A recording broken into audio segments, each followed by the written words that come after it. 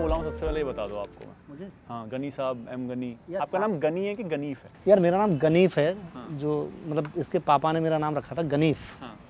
तो वो गनी एफ़ हट गया गनी रह गया। और गनी होता है बेसिकली ओरिजिनली तो। लेकिन हम हम लोग जिन बस्तियों में पैदा हुए होंगे वहाँ वो तो इज़्ज़त भी इज़्ज़त रहता है फिर उसमें। हाँ।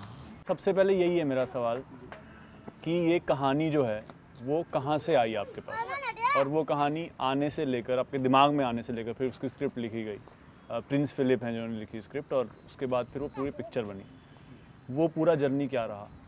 तो सत्यम यार ये कहानी जो है 2015 के आसपास मेरे दिमाग में आई। और कहानी क्या मतलब ये कैरेक्टर तो हमेशा से मेरे आसपास थे। मैं इन्हीं बस्तियों में पला बड़ा इसी तरीके के माहौल में रहा हूँ मैं बहुत देर तक।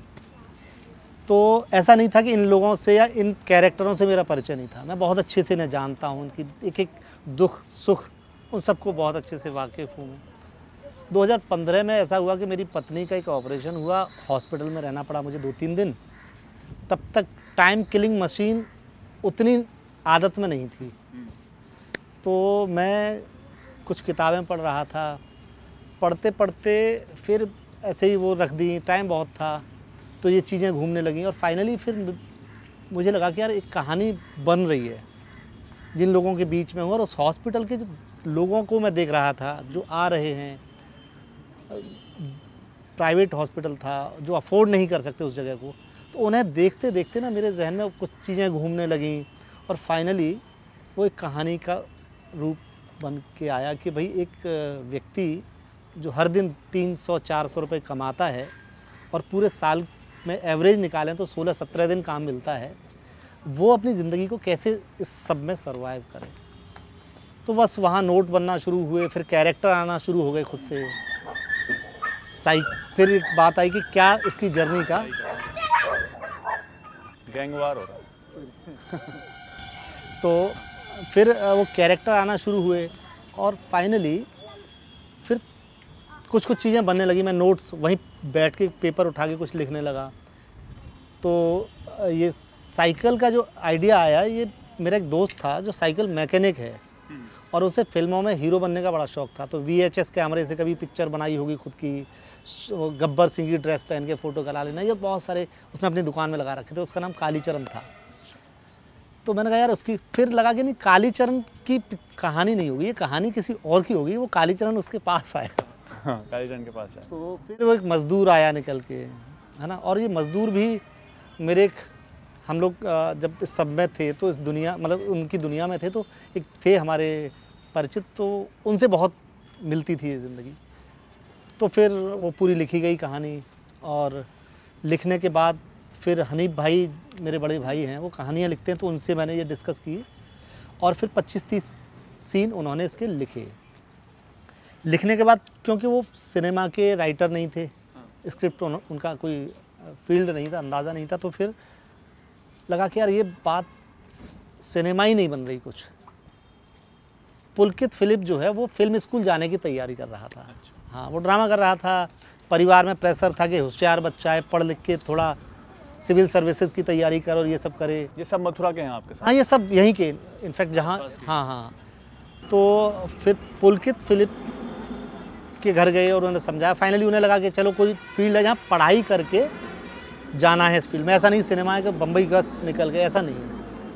पुलकित को इन्वॉल्व किया और पुलकित भी समझ रहा था चीज़ों को। तो फिर वो मैं बैठता था, पुलकित बैठता था। पुलकित की मुश्किल ये थी कि वो गाँव नहीं जानता था।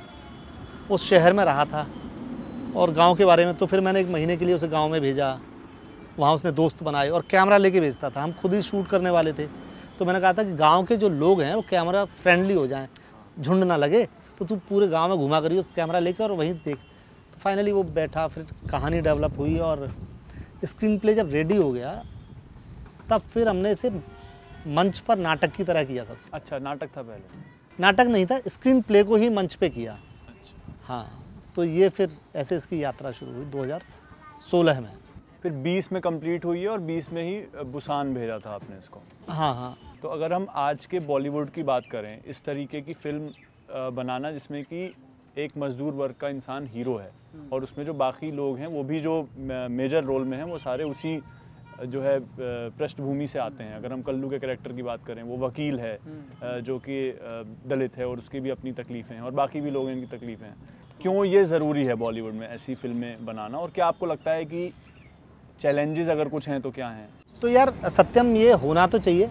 आइडियली नहीं, ये ज़रूरी बात है कि सिनेमा जिन के लिए बन रहा है, उनका होना चाहिए। लेकिन बड़ी कमाल की बात यह कि सिनेमा उनके लिए है ही नहीं। तो जिनके लिए नहीं है, उनके लिए बन भी नहीं रहा है। मल्टीप्लेक्स के आने से जो एक तरफ़ हमें उम्मीदें थी कि सिनेमा हर व्यक्ति तक पहुँच जाएगा वो हुआ नहीं और होना भी नहीं था। जो जानकार लोग थे समझ रहे थे कि चीज़ें कैसे डील होने वाली हैं।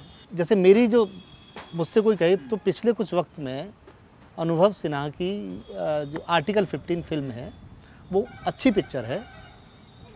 लेकिन मुझे लगता है कि एक दलित समस्या को सुलझाने के लिए सवर्ण हीरो ही हाँ आता है। ये मुझे पर्सनली लगता है कि यार अभी थोड़ा और साहस की ज़रूरत है। वो हीरो भी वहाँ से लाया जाना चाहिए। उस पिक्चर के बारे में ये भी कहा जाता है कि छू के निकल आई है। मतलब मैं उसे न मैं, मैं सिर्फ़ ये वो उसकी तारीफ़ ही कर रहा हूँ लेकिन मैं ये भी कहना चाहता हूँ मैं उम्मीद कर रहा था कि हीरो वहाँ से आए। पर हमने देखा है ना कि जब मतलब रिप्रेजेंटेशन की अगर बात है तो पार्टी जैसी फ़िल्में थी। हाँ। या हम जब अमिताभ बच्चन जब चढ़ रहे थे तो हम देखते थे कि हाँ ये जो हमारा कुली है जो हीरो है। या एक मजदूर आदमी है वो जो हीरो है पर वो बहुत ज़्यादा कम नहीं हो गया है। आपको नहीं लगता पिछले बीस बाईस साल में? हाँ तो यार उसमें यही है कि वो पिक्चरें उनके लिए बन रही थी। पहले तांगा चलाने वाला, रिक्शा चलाने वाला फ़र्स्ट डे फ़र्स्ट शो देखता था। अब उन लोगों की तो वो किस मल्टीप्लेक्स उन्होंने पता ही नहीं कि मल्टीप्लेक्स सिनेमा भी कुछ बन गया है। तो उस- एक तो ये वजह रही है। दूसरी, जिस तरीके से परिस्थितियाँ इकोनॉमिकल हालात जैसे हैं, उसमें उनके लिए कुछ जगह छोड़ी नहीं जा रही मुझे लगता है। मतलब ये मट्टो की साइकिल गाँव जो है, हम हिंदुस्तान को देखने की कोशिश कर रहे थे। कि वो हिंदुस्तान है पूरा और उसमें रहने वाले लोग हम वो हिंदुस्तानी हैं। हमारा बहुत स्पष्ट दृष्टिकोण था इसे लेकर के कि हम एक हिंदुस्तान की कहानी करेंगे और उसे श्रिंक कर लेते हैं। उसे गाँव में ले आते हैं हिंदुस्तान को तब देखते हैं। जी जी। फ़िल्म की पॉलिटिक्स पे अगर बात करें तो आपने जो है जातिवाद को आपने एड्रेस किया है मज़दूरों के हक को आपने एड्रेस किया ही है पूरी जो फ़िल्म है कंस्ट्रक्शन वर्कर है मट्टो जो करेक्टर है खुद। और जो क्लास डिफरेंस है बहुत बड़ा। स्टोरी में इन सब टॉपिक्स को ऐड करने के पीछे क्या वो था? और ये इन सब चीज़ों को आप कैसे देखते हैं कि एक मट्टो की ज़िंदगी में या ऐसे हज़ारों मट्टों की ज़िंदगी में ये हैं शामिल? हम लोग एक कहानी कहने निकले थे। अब कहानी, ज़ाहिर बात है कि मैं जहाँ से आया था, मुझे लग, और मैं वो कह भी सकता था ईमानदारी से, ये भी एक बात थी। हो सकता है मैं कोई और ऐसी कहानी कहने निकलता जो सी आर पार्क में रहने वालों की ज़िंदगी के बारे में, दिल्ली की तो शायद मुझे पता नहीं उसके बारे में। और वो आबादी इतनी ज़्यादा है यार, वो लोग ही हमारे घर बनाते हैं, वो हमारी सड़कें बनाते हैं, वो हिंदुस्तान को बनाने में वो जुटे पड़े हैं दिन रात। हर चीज़ जिन्हें हम इस्तेमाल कर रहे हैं, उस समय कहीं ना कहीं उन लोगों का श्रम, उनकी उनकी उनकी पसीना और उनकी मेहनत लगी हुई है। उनको लेकर के कुछ दिखाई नहीं पड़ रहा। हाल फ़िलहाल में हम जब देखें ना तो पहले बना है सिनेमा पहले है ना कई तरीके की चीज़ें लेकिन हमारे दौर में ऐसा कुछ हो नहीं रहा था। तो अंदर से था कि यार एक कोशिश तो करके देखनी चाहिए। और वो कोशिश कितनी कामयाब होगी क्या वो बन भी पाएगी ये भी एक चुनौती थी ना कि सिनेमा लिख लेंगे आप। आप आते हैं वहाँ आप अच्छा है आप बहुत ईमानदारी से सोच रहे हैं किसी बारे में लेकिन वो सिनेमा बन भी पाएगा क्योंकि मीडिया मीडियम जो सिनेमा का पैसे का मीडियम है उसमें पैसा लगता है और थोड़ा ज़्यादा पैसा लगता है। तो ये इसे लेकर के कहीं कोई कन्फ्यूज़न नहीं था कि क्यों ये कह रहे हैं। कहनी इसलिए थी क्योंकि वो हमें लगता था कि हमारी वो हमारी अपनी कहानी है यार वो हमें बतानी है। पर्सनल है आपके लिए इमोशनल हो जाते हो। यार इमोशनल जैसा नहीं है। हाँ। मैं उसमें रोऊँगा नहीं। भरसी आई नहीं मेरी मेरी वो बीमारी का एक हाँ वो लोगों को लगता है मैं आँसू आ रहे हैं ऐसा है नहीं। बड़ा संजीदा डायरेक्टर है। मेरी वो मेरी आँखों में पानी आता है उसका इलाज चल रहा है तो खैर बीच बीच में इसलिए मैं रुमाल रखता हूँ पास में। हाँ तो ये अब मैं कर ही लेता हूँ। हाँ वरना तुम लोग कहोगे कि हाँ, ऐसा नहीं है लेकिन इमोशनल होकर के बात नहीं ये बात ज़िम्मेदारी की भी है और जो देखा है आपने जो भोगा है उसे शायद बहुत ईमानदारी से कह सकते हैं। तो मैंने वो कहा है। मेरा एक दोस्त है उसने ये फ़िल्म देखी और वो उसके दादा जो हैं करोलबाग दिल्ली के तीन बार विधायक रहे हैं। मयंक बकोलिया तुम शायद जानते हो ना? मयंक ने ये फ़िल्म देखी थी बम्बई में जब फ़र्स्ट कट हो गया और उसके बाद वो लड़का ना काफ़ी देर बैठा रहा चुपचाप। और मैं चाहता भी यही था फ़िल्म के कि आखिर में उठ के खड़े हो ताली ना बजाएँ लोग। अगर ताली बजाने लगेंगे तो मैं समझूँगा फ़िल्म फेल हो गई है। पहुँची नहीं। हाँ। तो फ़िल्म तब तक बहुत काम भी नहीं हुआ था और वो बैठा रहा उसके बाद फिर वो नीचे गया सिगरेट पी के आया फिर उसने एक बात बताई कि यार मैं ना मेरे घर में पहली 800 कार आई थी हमारे घर में विधायक थे तीन तीन बार की। और एक वो 800 कार की यात्रा थी ना कितनी साइकिल जैसी थी। तो मैं उससे रिलेट मतलब हाँ हर किसी की साइकिल हाँ। अपनी साइकिल का मतलब सिर्फ़ वो साइकिल ही नहीं है। हिंदुस्तान की तमाम आबादी जो है ना अपने अपने बहुत छोटे छोटे सपने। उसमें इतने छोटे सपने हैं यार मूल जीवन, वो कहते हैं मूल ज़िंदा रहने की तमाम सारी चुनौतियों में से उन सपनों को लेके अभी भाग दौड़ में लगे हैं। तो कोई जहाँ से भी उसे पकड़ ले, जहाँ से समझ ले, हम चाहते थे वो सब बीच में हम जाएँगे सारी चीज़ों को लेकर के और लोग जहाँ लोगों को क्लिक कर जाए अच्छा लग जाए। कास्टिंग और लोकेशन की अगर हम बात करें, कास्टिंग की बात करें तो वो सारे लोग मतलब जितने भी लोग नज़र आते हैं, एक तो प्रकाश झा ने एक्सेंट बहुत अच्छा पकड़ा है, हम बात भी कर रहे थे इसके बारे में।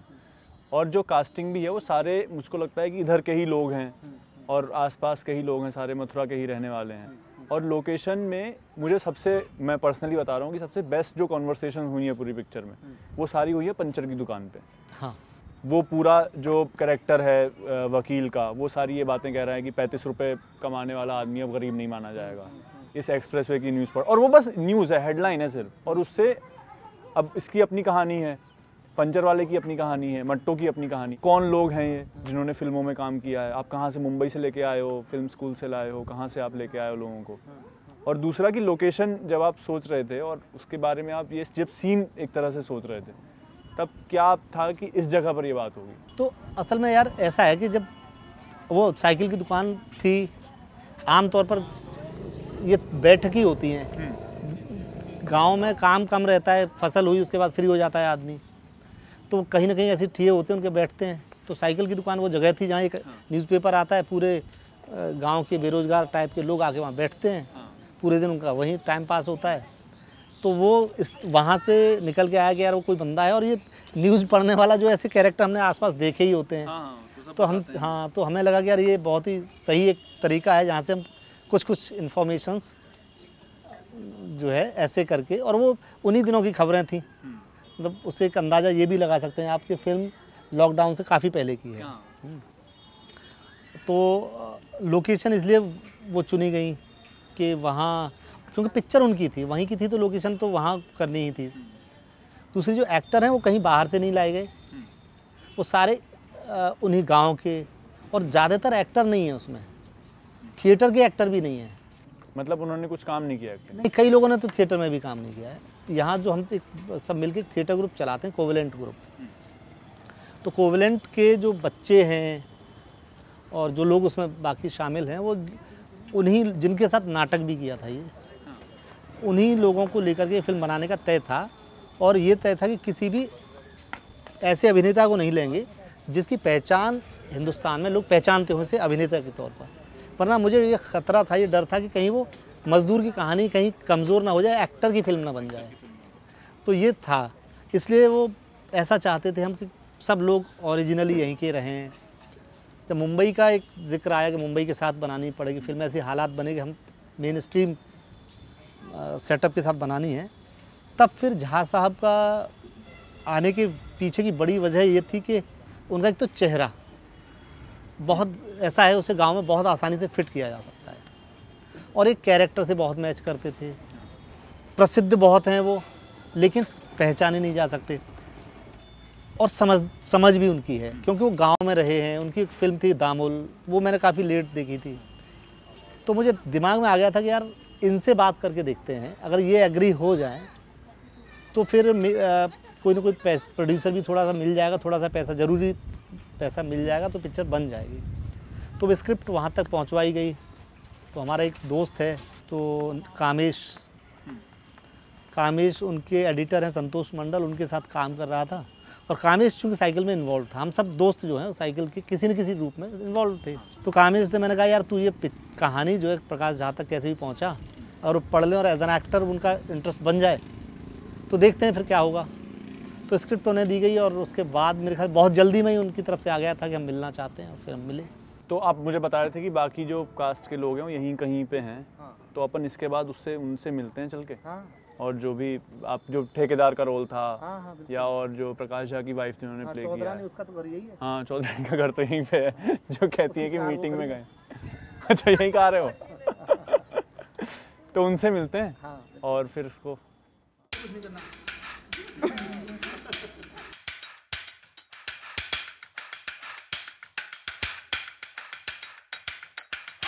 ये फ़िल्म जो है सर हम लोगों से जुड़ी हुई है। जैसा कि हमारे साथ होता रहता है आमतौर पे, वो सब इसमें मैंने वही महसूस किया, वही मैंने किया और वो सब मैंने इसमें देखा।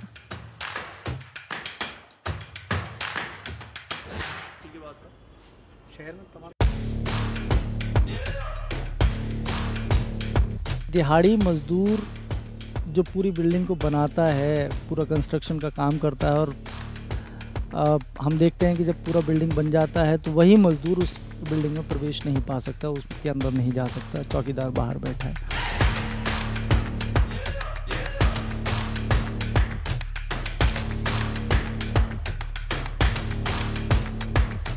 पहले भी मैं भ्रष्ट बहुत, कई बार बना हूँ।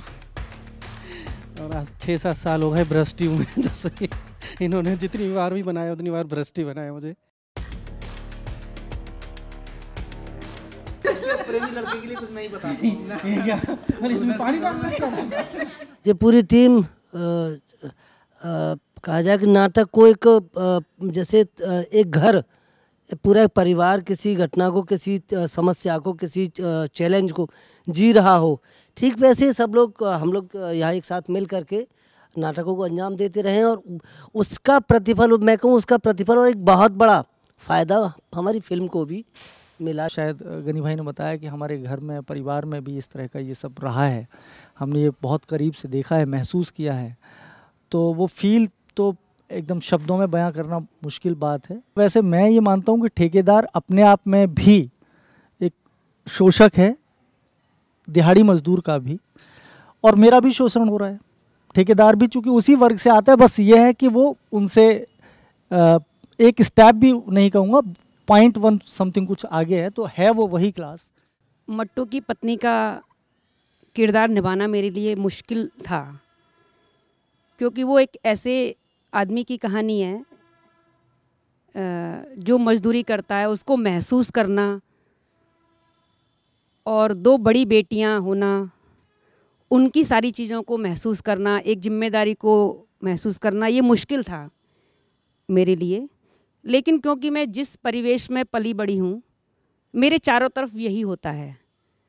तो मैं जिस दौरान फ़िल्म का मुझे लगा कि मुझे इसमें ये कैरेक्टर करना है तो मैं अपने आसपास तमाम सारी महिलाओं को देख रही थी।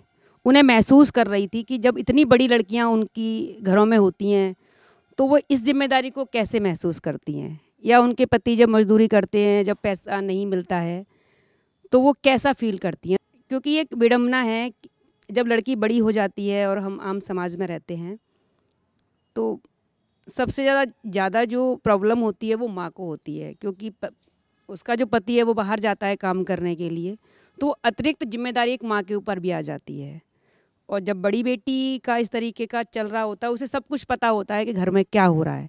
लेकिन क्योंकि उसकी मजबूरी होती है, वो कुछ कह नहीं पाती है, क्योंकि उसके पास पैसा नहीं होता, वो अपने पति को भी देखती है जो मजदूरी करने जाता है, लेकिन कई बार वो खाली हाथ भी लौट कर आता है। महीने में उसे दस दिन भी काम नहीं मिलता है, कई बार खाना भी नहीं है घर में। वो बड़ी बेटी को भी मना करता है कि मेरे लिए रोटी मत बांधना। वो सारी सिचुएशन को समझ रही है कि वो क्यों मना कर रहा है। तो इस किरदार को निभाते हुए मुझे मतलब वो सब चीज़ें फील हुई जो समाज के बहुत बड़े तबके में आज भी मौजूद हैं। जब हम गाँव की तरफ़ निकलते हैं तो बहुत देखने को मिलता है ये सब चीज़ें रहती हैं। कल मैं ये मूवी देखने गया अपने दो दोस्तों के साथ। वो दोनों एमएनसी में नौकरी करते हैं। तो उनके लिए ये फ़िल्म मात्र इतनी थी कि उनके एक दोस्त ने इसमें एक्टिंग की है। और उससे ज़्यादा कुछ नहीं था। वो आ, मतलब मूवी देखने आए। पॉपकॉर्न खाया हमने और वो चले गए।